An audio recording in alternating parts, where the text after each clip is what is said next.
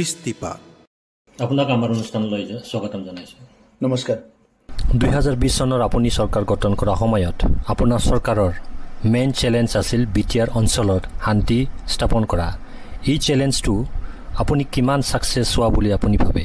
আমি দুই হাজাৰ বিছ চনত চৰকাৰত অহাৰ লগে লগে বহুতখিনি চেলেঞ্জেছ আমাৰ আছিল। আৰু সেই চেলেঞ্জেছখিনি আমি ফেচ কৰিবলৈ কিছুমান প্ৰিন্সিপল আমি ঠিক কৰি লৈছিলোঁ।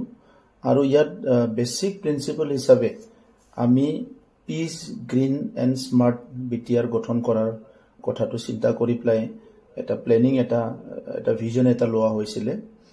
আৰু পিচ যিটো নেকি লাষ্ট প্ৰায় থ্ৰী ডিকেটছ পিচটো আমাৰ অঞ্চলত নাছিলে বিভিন্ন কাৰণত।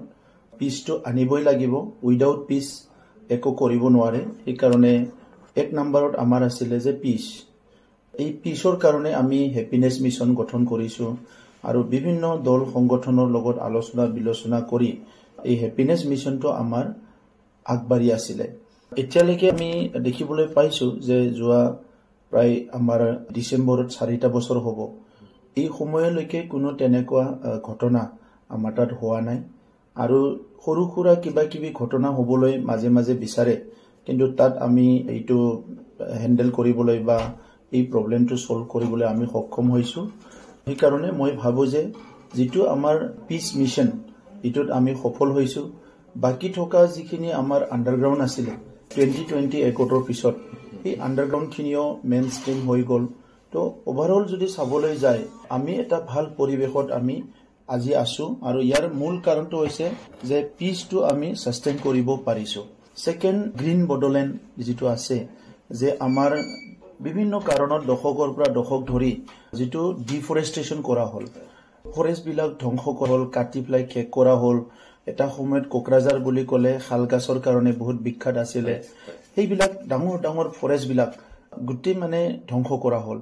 আমাৰ যিটো গ্ৰীণ আছিলে সেইটো নাইকিয়া হৈ গ'ল। ইয়াৰ কাৰণে প্ৰাকৃতিক প্ৰভাৱ পৰিছে বায়'ডাইভাৰ্চিটি ইকনমি চবতো প্ৰভাৱ পৰিছে।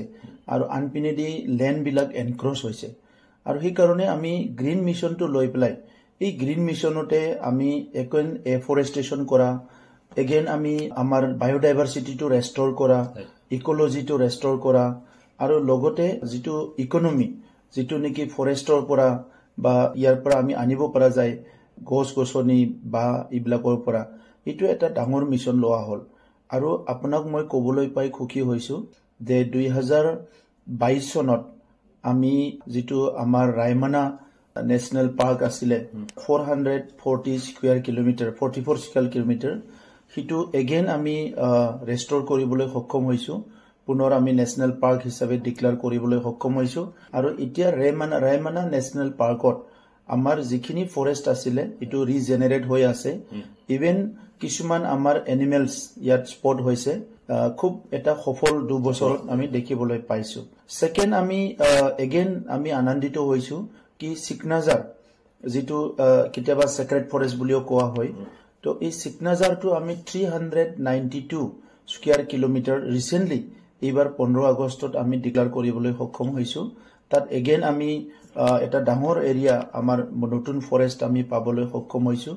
আৰু এই গ্ৰীণ মিছনৰ আণ্ডাৰতে বডোলেণ্ড অঞ্চলত যিটো প্লাষ্টিক ব্যৱহাৰ কৰা যিটো নেকি pollution soil pollution water pollution air pollution প্লাষ্টিকৰ পৰা হয় এই এইটো বন্ধ কৰিবৰ কাৰণে আমি গ্ৰীণ মিছনৰ আণ্ডাৰত এটা প্ৰগ্ৰাম লোৱা হৈছে। আৰু গ্ৰাউণ্ড ৱাটাৰ আমি নাজানা সময়ৰ পৰাই বহুত গ্ৰাউণ্ড ৱাটাৰবিলাক ইউজ হৈছে। আৰু ৰিচেণ্টলি বেলেগ এটা পৰিৱেশ আমি দেখিবলৈ পালোঁ যোৱা কেইবছৰমানত। চিৰাং জিলা কোকৰাঝাৰ জিলা বাক্সা জিলা বিভিন্ন অঞ্চলত আমি এটা ছিজনত মানে পানীটো হঠাৎ গ্ৰাউণ্ড লেভেলটো বহুত তললৈ গুচি যায়। এতিয়া ৰেইনি ছিজনত ওপৰতে থাকে কিন্তু যেতিয়া উইণ্টাৰ ছিজন হয় হঠাৎ পানীৰ লেভেলটো বহুত তলত গুচি যায়। তো সেইকাৰণে আমি সিদ্ধান্ত ল'লোঁ যে অহা টেন ইয়াৰ্ছৰ ভিতৰত আমি ফাইভ ইয়াৰ্ছ টাৰ্গেট লৈছোঁ বাট মেক্সিমাম টেন ইয়াৰ্ছৰ ভিতৰত গ্ৰাউণ্ড ৱাটাৰ ইউজটো আমি বড়োলেণ্ডত বন্ধ কৰিম আৰু চ'ৰ্চেছ এণ্ড ৰেইন ৱাটাৰৰ পৰা আমি ৱাটাৰটো ইউজ কৰিম যাতে যিটো তল পানী মাটিৰ তলৰ পানীটো যাতে ৰেষ্টৰ হৈ থাকে বা ইয়াত থাকি থাকে। চ' এনেকুৱা কৰি পেলাই আমি গ্ৰীণ মিছনটো আগুৱাই আছোঁ। আৰু স্মাৰ্ট যিটো ক'লে গুড গভৰ্নেন্স ইয়াত আগৰ চৰকাৰৰ সময়ত আমি প্ৰায় two thousand nine hundred crore liability আমাৰ ইয়াত থৈ গৈছে। চৰকাৰ ঠিকমতে চলা নাছিলে অফিচাৰবিলাক ডিউটি নকৰে বহুতে গুৱাহাটীৰ পৰা ডিউটি কৰে। আৰু ইয়াত বহুতখিনি কৰাপশ্যন চলি আছিলে। এই গোটেইখিনি লৈ পেলাই আমি এটা স্মাৰ্ট বি টি আৰ এটা মিছন লৈ পেলাই গ্ৰাছৰুটৰ পৰা ছেক্ৰেটাৰিয়েটলৈকে কেনেকৈ এফেক্টিভ গভৰ্নেন্স কৰিব পাৰে ইয়াৰ কাৰণে কাম কৰি আছোঁ। আৰু তাতো আমি বহুত সফলতা পাবলৈ সক্ষম হৈছোঁ।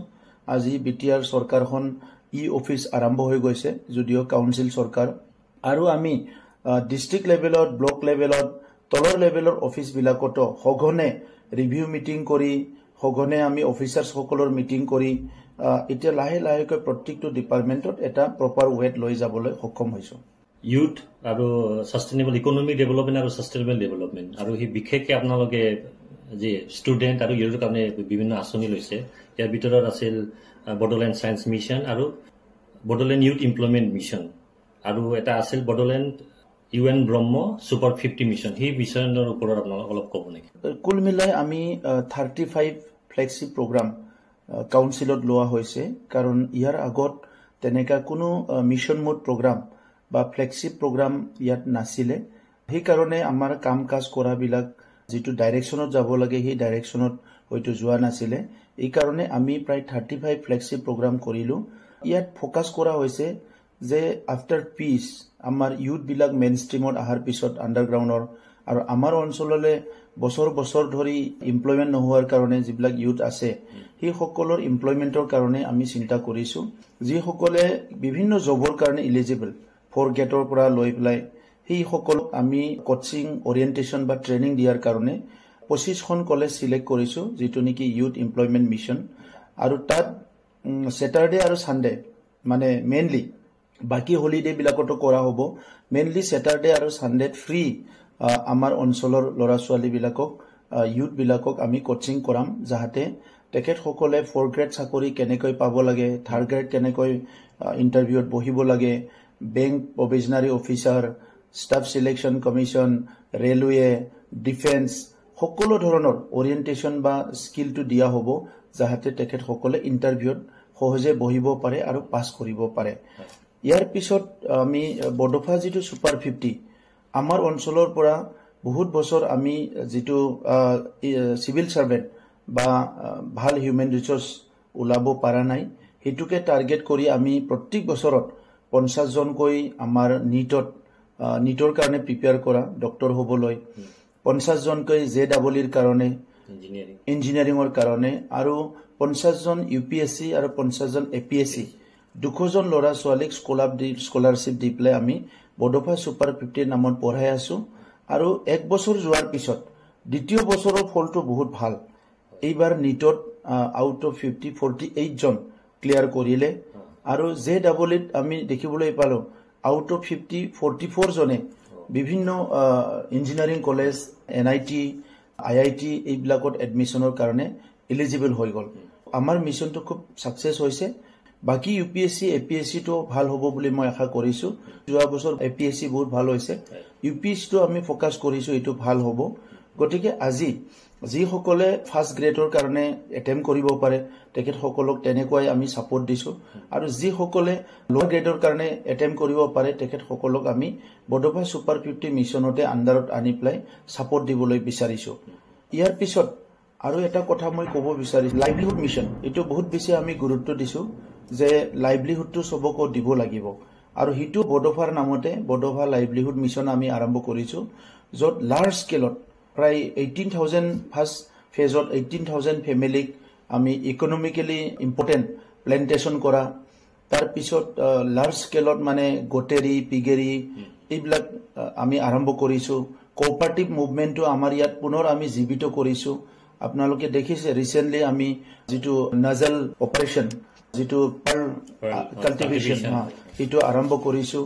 আমাৰ অঞ্চলত বহুতখিনি ধান প্ৰডাক্ট হয় প্ৰায় এলেভেন লাখ মেট্ৰিক টন যিসকল কনজিউম কৰে ইয়াৰ বাহিৰৰখিনি অলপ মিলিং কৰি পেলাই বাহিৰত পঠাবৰ কাৰণে আমাৰ ফৰ্মাৰ আণ্ডাৰগ্ৰাউণ্ডৰ ইউথসকলক আমি ছাপৰ্ট কৰিছোঁ ফিনৰেডমহাং মিছনৰ আণ্ডাৰত তেনেকুৱা কৰি লাইভলিহুডত আমি বহুতখিনি কাম হাতত লৈছোঁ যিখিনিয়ে এনাদাৰ দুই তিনি বছৰত পাব্লিকে বহুত বেনিফিটেড হ'ব।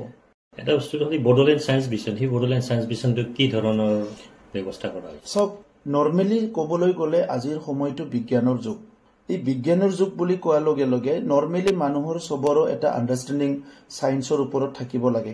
আমি ছায়েন্সটো টিচিং লাৰ্ণিঙতে কনফাইন কৰি ৰাখোঁ কিন্তু টিচিং লাৰ্ণিঙতো ছায়েন্সৰ কাৰণে আমাৰ ভাল শিক্ষকৰ অভাৱ হয়। আনপিনেদি টি এল এম ভাল টিচিং লাৰ্ণিং মেটেৰিয়েল নাই লেববিলাক ভাল নহয়। আৰু ভাল ট্ৰেইনিং নোপোৱাৰ কাৰণে শিক্ষকসকলে ছাত্ৰ ছাত্ৰীক ভাল বিজ্ঞান শিকাব নোৱাৰে। বহুত সময়ত অসুবিধা হয়। তো সেইকাৰণে আমি চালোঁ যে আমাৰ বি এছ চি মাষ্টৰৰ নাটনি হয় এম এছ চি বহুত কম হয় ছায়েন্সত পঢ়া মানুহৰ বহুত কম হয় স্কুল কলেজো কম। গতিকে আমাৰ তাত যিখিনি আছে এজন টুডে সেই টিচাৰসকলক আমি এটা international organisation Agastya international foundation এই আগষ্টীয় ইণ্টাৰনেশ্যনেল ফাউণ্ডেশ্যনৰ দ্বাৰা ট্ৰেইনিং কৰাইছোঁ। এতিয়ালৈকে চাৰিটা বেটছক ট্ৰেইনিং কৰা হ'ল ছায়েন্স মিছনৰ আণ্ডাৰত আৰু আগষ্ট ইণ্টাৰনেশ্যনেল ফাউণ্ডেশ্যনে চাউথ ইণ্ডিয়াৰ বহুত ষ্টেট মিডিল ইণ্ডিয়াৰ বহুত ষ্টেটত কাম কৰি আছিলে। ইহঁতক আমি ইয়াতে মাতি আনি পেলাই এতিয়া প্ৰায় এক বছৰ হৈ গ'ল। তেখেতসকলে চাৰিখন বিছখন মোবাইল ভেন লৈ পেলাই তাত mobile van lab science lab লৈ পেলাই স্কুলে স্কুলে শিকাই আছে। আৰু already thirty thousand class six seven এইটৰ ল'ৰা ছোৱালীসকলক ইতিমধ্যে ট্ৰেইন কৰা হ'ল। আৰু তেখেতসকলৰ মই গৈছোঁ স্কুলবিলাকত কনচেপ্টটো ছায়েন্সৰ ওপৰত বহুত ক্লিয়াৰ হৈ গ'ল। আৰু এটাটো হ'ল আপোনালোকে এটা আঁচনি আৰম্ভ কৰিছে সেইটো বড়োলেণ্ড স্কুল এডপশ্যন প্ৰগ্ৰাম এইটো কি ধৰণৰ আপোনালোকে? স্কুল এডাপশ্যন প্ৰগ্ৰামটো এইকাৰণে কৰিব লগা হ'ল যে আমাৰ ফাউণ্ডেশ্যন লেভেলত এডুকেশ্যনটো ভাল হ'ব লাগিব। কিন্তু অভাৰঅল চিটুৱেশ্যনটো চাবলৈ গ'লে এনভাইৰমেণ্টটো বহুত পুৰ হয়। এইটো কেনেকৈ হেল্ডি কৰা যাব? তো এইকাৰণে আমি চালোঁ যে আমাৰ এনাফ যথেষ্ট যি আমাৰ এছ আই লাগে এইবিলাক নাই বি অ'বিলাক নাই তো মনিটৰিং চিষ্টেমটো বহুত মানে পুৰ হৈ আছে তো সেইটো ষ্ট্ৰেংথেন কৰিবলৈ যাওঁতে আমাক বহুত মেন পাৱাৰ লাগে। আনপিনেদি বহুত বছৰৰ যিটো কালচাৰ কেতিয়াবা টিচাৰবিলাক কম সময় এটেণ্ড কৰে মিড ডে মিলটো ভালদৰে নোখোৱাই ষ্টুডেণ্টৰ লগত ভালকৈ ইণ্টাৰেকশ্যন নকৰে এই গোটেই পৰিৱেশটো চাই পেলাই আমি চিন্তা কৰিলোঁ যে ভাল ভাল মানুহ এজনে যদি এখন এখন স্কুল এডাপ্ট কৰে আৰু without any affecting the teaching learning process তাত যিটো ইক'চিষ্টেম হৈ আছে সেইটো এফেক্ট নকৰাকে কোনোবা এজন লাৰ্ণেড মানুহ বা কোনোবা এজন ইণ্টাৰেষ্টেড ব্যক্তি আগে যায় যদি স্কুলখনক সহায় কৰে যে তাত সৰু সুৰা ইনফ্ৰাষ্ট্ৰাকচাৰ লাগে এইটো সহায় কৰিলে আৰু তেখেতে যাই পেলাই অলপ ছাপৰ্ট দিলে আৰু ছাপৰ্ট দিয়াৰ লগে লগে দুটা কথা হ'ব। এটা হ'ল শিক্ষকজন ৰেগুলাৰ হ'ব কাৰণ তাত মনিটৰিং চলি আছে বুলি গম পাব। আনপিনেদি তাত যিখিনি এক্টিভিটি হ'ব লাগে দৈনন্দিন এক্টিভিটিখিনি প্ৰপাৰলি হ'ব। আৰু আনপিনেদি থাৰ্ড পইণ্টটো হ'ল সৰু এটা বস্তু দহ হাজাৰৰ এটা কিবা এটা ৰিপেয়াৰিং লাগে ফেন এখন লাগে। এইবিলাক সেই এডাপ্টৰজনে এইবিলাক সহায় কৰিব পাৰিব। অলৰেডি বহুতে কৰিছে। সেইকাৰণে গভৰ্ণমেণ্টৰ পলিচিটোতো চলিছে আমি কাম কৰি আছো। এডিচনেলি আৰু ছাপৰ্ট পাবৰ কাৰণে ইণ্ডিভিজুৱেলি ইণ্ডিভিজুৱেল মানুহবিলাকৰ পৰা বা এলুমিনাইৰ পৰা বা কোনোবা এজন মানুহে অফিচাৰ পৰা চবকো আমি অপেন কৰি দিছিলোঁ আৰু প্ৰায় মোৰ then eight hundred school already adopt হৈছে। গতিকে এই মিছনটো ইয়াৰ কাৰণে অনা হৈছে। How to develop the overall improvement মানে সেই স্কুলখনৰ এনভাইৰমেণ্টটো কেনেকৈ ডেভেলপ কৰিব পৰা যায়। ইনফ্ৰাষ্ট্ৰাকচাৰ আৰু টিচিং লাৰ্ণিং প্ৰচেছটো মোৰ এফেক্টিভ কৰাৰ কাৰণে। বি টি চি অঞ্চলত দেখাই দিয়া ভূমি সংক্ৰান্তীয় সমস্যা সমাধান কৰাৰ বাবে কি ব্যৱস্থা পদক্ষেপ কৰিছে?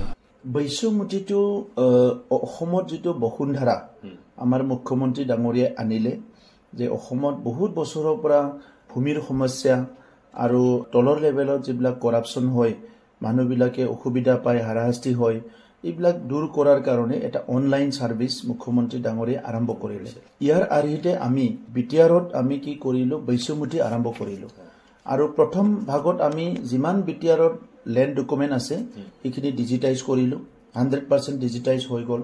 ইয়াৰ পিছত আমি ছাৰ্ভিচেছবিলাক দিয়া আৰম্ভ কৰিলোঁ। আমি তেৰটা ছাৰ্ভিচ লেণ্ড ট্ৰেন্সফাৰ মিউটেশ্যন এইবিলাক লৈ পেলাই প্ৰায় তেৰটা ছাৰ্ভিচেছ আমি অনলাইন দিয়া আৰম্ভ কৰিছোঁ। আৰু ইতিমধ্যে যোৱা ন মাহত ছেভেণ্টি টু থাউজেণ্ড ফেমিলিছে এই সমস্যাবিলাক লৈ এপ্লাই কৰিছে অনলাইন ইয়াৰে fifty two thousand already approve কৰা হৈ গ'ল। বাকীখিনি আমি কৰি আছোঁ। আৰু এতিয়া লাহে লাহেকৈ মানুহবিলাক বুজি উঠিছে। যিহেতু আমাৰ প্ৰধানমন্ত্ৰী ডাঙৰীয়াই ডিজিটেল ইণ্ডিয়াৰ কথা কৈছিলে। এই ডিজিটাইজেশ্যনৰ যিটো এডভান্টেজ সেইটো পাব্লিকে পাইছে। আৰু আগত ক'ৰবাত মণ্ডলক দুই টকা দিব লগা হৈছিলে ক'ৰবাত চাৰ্কল অফিচৰ কাৰোবাক দুই টকা দিব লগা হৈছিলে সৰু কামৰ কাৰণে। চ' এইবিলাক ইয়াত দূৰ হৈ গ'ল। এতিয়া ভেৰি ট্ৰেন্সপাৰেণ্ট আৰু ইজিলি তেখেতসকলে একচেছ কৰিব পাৰে বা ইউজ কৰিব পাৰে। তো সেইকাৰণে বৈশ্যমুঠিটো মই ভাবোঁ যেনেকৈ বসুন্ধৰা অসমৰ কাৰণে বহুত ডাঙৰ এটা এচিভমেণ্ট বা ডাঙৰ এটা ডেভেলপমেণ্ট গোটেই কাম কৰাৰ ভিতৰত ওৱান অফ দি বেষ্ট কামটো হৈছে বসুন্ধৰা। আৰু তেনেকুৱা আমাৰ তাতো এইটো লাগিছে কাৰণ আমাৰ যোৱা দশকৰ পৰা দশক ভূমিক লৈয়ে বহুত কনফ্লিক্ট হৈ গ'ল। গতিকে এই ব- বৈশ্যমুঠিটো আৰম্ভ কৰাৰ লগে লগে বহুত মানুহে সকাহ পালে। গতিকে বৈশ্যমুঠিটো আমাৰ টাৰ্গেট হয় ডিচেম্বৰলৈকে এক লাখ এপ্ৰুভ কৰা সমস্যা। আৰু ইয়াৰ পিছত অফলাইনো কাম চলি আছে গতিকে ভূমিৰ সমস্যাটো আমি এশ শতাংশ নোৱাৰিলেও মানে প্ৰায় ছেভেণ্টি এইটি পাৰ্চেণ্ট আমি এই আমাৰ টাৰ্মতে প্ৰব্লেমটো ছল্ভ কৰিবলৈ আমি আগবাঢ়ি আছোঁ। আপোনালোকৰ এটা কৰা হৈছিল যে hundred days one fifty target বুলি আপোনালোকে এটা প্ৰগ্ৰাম লৈছিল। যোৱাবাৰ আমি যিটো ট্ৰাই কৰিছিলোঁ যে আমাৰ capacity capacity of the machinery officer সেইটো আমি চাবলৈ আমি হাণ্ড্ৰেড ডেইজ প্ৰগ্ৰাম বনাইছিলোঁ আৰু তাত হাণ্ড্ৰেড ডেইজত ওৱান ফিফটি টাৰ্গেট আমি চব ডিপাৰ্টমেণ্টক দিছিলোঁ। চ' তাত আমি দেখিলোঁ যে আমি ছিক্সটি পাৰ্চেণ্টত আমি তেতিয়া ৰৈছোঁ হাণ্ড্ৰেডত গৈ পোৱা নাই। মই দেখিলোঁ যে আমাৰ কম- কিমান ইফিচিয়েঞ্চি আছে। ছেকেণ্ড আমি এতিয়া টাৰ্গেট দিছোঁ। চ' এইটো ছেপ্টেম্বৰত শেষ হ'ব। এইবাৰটো ওৱান ফিফটি নহয়। হাণ্ড্ৰেড ডেইজ এটা প্ৰগ্ৰাম দিছোঁ। চবকো বেলেগ বেলেগ টাৰ্গেট ডিপাৰ্টমেণ্ট ৱাইজত আৰু ভাল ভাল কামবিলাক দিছোঁ আমি টাৰ্গেট এইবাৰৰ প্ৰগ্ৰেছটো বহুত ভাল।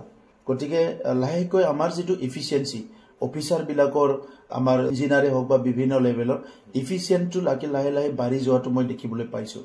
গতিকে আজি যদি কেন্দ্ৰীয় চৰকাৰৰ নিচিনা কাম কৰিব লাগে বা দিছপুৰৰ নিচিনা কাম কৰিব লাগে এইটো কাউন্সিল বুলি এটা অট'মেটিক এটা নেগলিজেঞ্চি আহি যায়।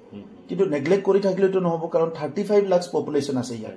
চ' তেখেতসকলৰ কাৰণে কাম কৰিব লাগিব কিছুমান কাম কাউন্সিলৰ কিছুমান ষ্টেট গভৰ্ণমেণ্টে দিছে কিছুমান চেণ্ট্ৰেল গভৰ্ণমেণ্টে দিছে চব কা- কামেই আমাৰ হ'ব লাগিব সেইকাৰণে এই হাণ্ড্ৰেড ডেইজ প্ৰগ্ৰামটো আমাৰ কাৰণে খুব ইম্পৰ্টেণ্ট আৰু এইবাৰ এইটো আমি এগেইন আমি লৈছোঁ আৰু এইবাৰ মানে স্পীডটো বহুত ভাল আৰু এটা প্ৰব্লেমটো আহিছে যে একৰ্ড বি টি আৰ যে একৰ্ড হৈছিল সেই একৰ্ডৰ ইমপ্লিমেণ্টেশ্যনটো এতিয়ালৈকে কিমান আগবাঢ়িছে আৰু কিমান বাকী আছে আৰু মানে কি প্ৰচেছত চলি আছে?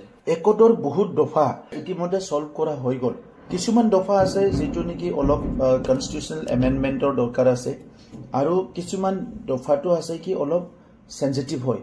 চ' সেইটো লাহে লাহে কৰিব লাগিব। তো এই দফাবিলাকহে পেণ্ডিং হৈ আছে আৰু সেইটো লাহে লাহে আমি কৰি আছোঁ। যিবিলাক দফা কুইকলি কৰিব লাগে সেইবিলাক কৰা হৈ গ'ল। আৰু ইতিমধ্যে ইমপ্লিমেণ্টো হৈ গ'ল। আমাৰ এই কলেজ স্কুল প্ৰভিঞ্চিয়েলাইজেশ্যনৰ কথা দহখন কলেজ প্ৰভিঞ্চিয়েলাইজ হ'ল। বাকী হায়াৰ ছেকেণ্ডাৰী হাইস্কুলৰ ইতিমধ্যে ছাৰ্ভে চলি আছে। লেংগুৱেজৰ কথা এইটো হৈ গ'ল। তেনেকা এন ডি বিৰ ৰিহেবিলিটেশ্যনৰ কথা last part six hundred something ৰৈ গৈছিলে এইটোও এপ্ৰুভ হৈ গ'ল। মাৰ্টিয়াৰক টকা দিয়া। লাহে লাহে মাৰ্টিয়াৰ এক্স গ্ৰেচিয়াৰ কামো হৈ গ'ল।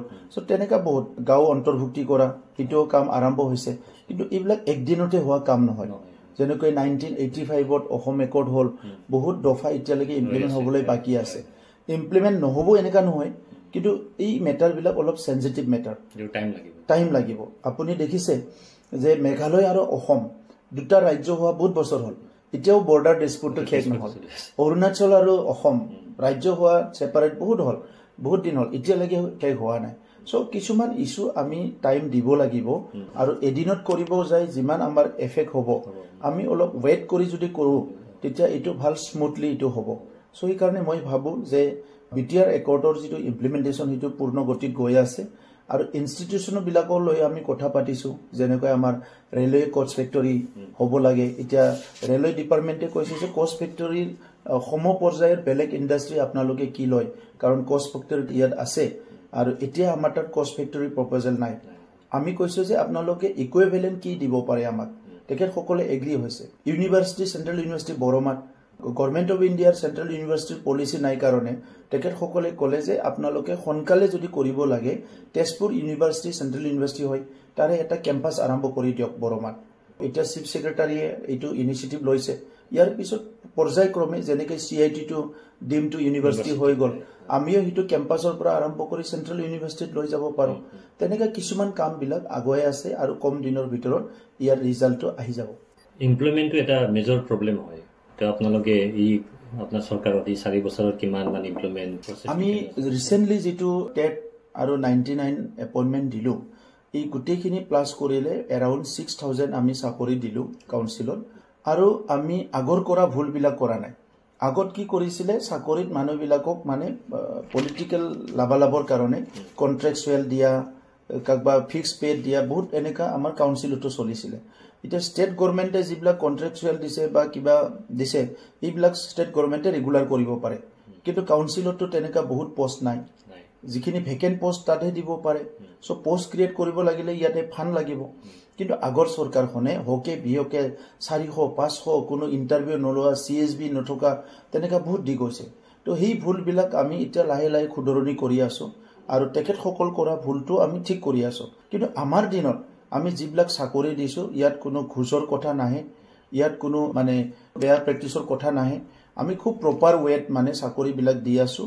এতিয়ালৈকে ছিক্স থাউজেণ্ড এৰাউণ্ড দিয়া হৈ গ'ল আৰু আমাৰ হাতত প্ৰায় টুৱেল্ভ হাণ্ড্ৰেডৰ এবভ আমি হাইস্কুল টিচাৰ দিবলৈ গৈ আছোঁ। আৰু কাউন্সিলৰ ভেকেণ্ট পষ্টখিনি আমি অতি শীঘ্ৰে ফিল আপ কৰাৰ কাৰণে চি এছ বি গঠন কৰি চি এছ বিৰে পূৰা ফুল চুইং কাম কৰি আছে। আমি এতিয়া পলিটিকেল লাইনত যাওঁ। আপোনালোকৰ এতিয়া মানে মাজত বি জে পি আৰু ইউ পি পি এলৰ অলপ খেলি মেলি আমি মানে মিডিয়াত বহুত দেখা পাইছোঁ। এতিয়া আপোনালোকৰ মানে বি জে পিৰ লগত ইকুৱেশ্যন কেনেকুৱা? বি জে পি আৰু ইউ পি পি এলৰ আণ্ডাৰষ্টেণ্ডিং দিল্লীতো আমাৰ চৰকাৰ আছে আমাৰো দুজন এম পি আছে দিছপুৰত আমাৰ এম এল এসকল আছে চৰকাৰ চলি আছে কাউন্সিলতো বি জে পি আৰু ইউ পি পি এলৰ চৰকাৰ চলি আছে। পলিটিকেল লেভেলত মানুহৰ ভাল পোৱা বেয়া পোৱা বহুত থাকে বহুত উইচ থাকে বহুত ইচ্ছা থাকে। তো সেইবিলাক কথা লৈ পেলাই চবতো মই নাভাবোঁ যে আমাৰ ইয়াত মাত্ৰ নহয় য'ত য'ত এলায়েন্স গভৰ্ণমেণ্ট আছে সেইবিলাকত তেনেকুৱা নিউজবিলাক ওলাই থাকে। আমাৰো নিজা এজেণ্ডা আছে বিজেপিৰো নিজা এজেণ্ডা আছে আৰু সেই এজেণ্ডাবিলাক কেতিয়াবা বিজেপিয়ে ভাবে যে এইটো এনেকুৱা হয় বুলি ভাবিব পাৰে আমিও তেনেকুৱা হয় বুলি ভাবিব পাৰোঁ। তাত ডেমক্ৰেটিক এটা দেশত তেনেকুৱা কথাবিলাক ওলাই থাকিব। কিন্তু আমাৰ ভিজনটো হৈছে মিছনটো হৈছে বি টি আৰখন বহুত দিনৰ পিছত আমি শান্তি ঘূৰাই আনিব পাৰিছোঁ মানুহৰ মুখত হাঁহি ঘূৰাই আনিব পাৰিছোঁ আৰু এই কামটো কৰিছে ইউ পি পি এল বিজেপিয়ে আগতো চৰকাৰ আছিলে তাত মানে বি পি এফ আৰু ষ্টেটত বিজেপি আছিলে ইয়াত বিজেপিৰ এজন মাত্ৰ এম চি এল এ আছিলে। সেই সময়ত এই কামবিলাক নহ'ল। আগতে কংগ্ৰেছ আৰু বি পি এফৰ চৰকাৰ আছিলে সেই সময়ত এই কামবিলাক নহ'ল। কিন্তু যেতিয়া টুৱেণ্টি টুৱেণ্টিত ইউ পি পি এল আৰু বিজেপি চৰকাৰ আহিল এই কামবিলাক হৈ উঠিল। গতিকে আজি বি টি আৰ অঞ্চলৰ জনসাধাৰণৰ অত্যন্ত দৰকাৰ কামবিলাক অত্যন্ত প্ৰয়োজন ডিচিশ্যনবিলাক আমি আমাৰ দিনত লৈ আছোঁ। গতিকে মই ভাবোঁ যে ইউ পি পি এল আৰু বিজেপিৰ যিটো সম্বন্ধ যিটো মানে মানে বাহিৰত এটা দুটা নিউজ ওলাই আছে তেনেকুৱা নহয় ইয়াতকৈ আমাৰ সম্বন্ধটো ভাল বুলি মই ভাবোঁ। তো এতিয়া যে বাই ইলেকশ্যন আহি আছে তাত আপোনালোকে বিজেপি আৰু ইউ পি পি এল একেলগে খেলিব?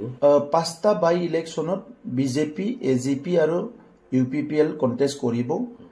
ইউ পি পি এলৰ এটা ছিট এ জি পিৰ এটা ছিট তিনিটা ছিট আছে বিজেপিৰ গতিকে য'ত আমি যেনেকৈ পাৰোঁ একেলগে সহায় কৰিম আৰু আমাৰ প্ৰাৰ্থীবিলাক জিকাই লৈ যাবৰ কাৰণে আমি কাম কৰিম।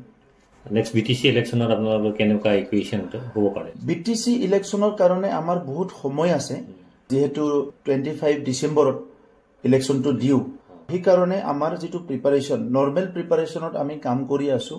কিছুমানে অলপ হোৱা দোৱা লগাইছে কোনোবা ভাবিছে কি আমি চৰকাৰ গঠন কৰিব পাৰিম অলপ এইটো কৰিলে এইটো কৰিলে তেনেকুৱা হোৱা দোৱা কৰা দেখিবলৈ পাইছোঁ। কিন্তু ইউ পি পি এল হিচাপে উই আৰ ভেৰি ষ্টেবল আমি খুব ষ্টেবল হয় আৰু আমি এই চাৰিটা বছৰত খুব ভালকৈ চালোঁ যে বি টি আৰ অঞ্চলৰ ৰাইজৰ সুখ দুখ বেদনা ভাল পোৱা বেয়া পোৱা বিভিন্ন মানুহৰ চাইকলজি চিন্তাধাৰাবিলাক আমি চাইছোঁ।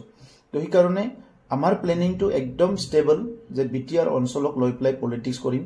আৰু বি টি আৰ অঞ্চলক লৈ পেলাই উন্নয়নৰ লৈ পেলাই পলিটিক্স কৰিম শান্তিক লৈ পলিটিক্স কৰিম বি টি আৰ অঞ্চলৰ ৰাইজৰ সকলোৰে মংগলৰ কাৰণে পলিটিক্স কৰিম।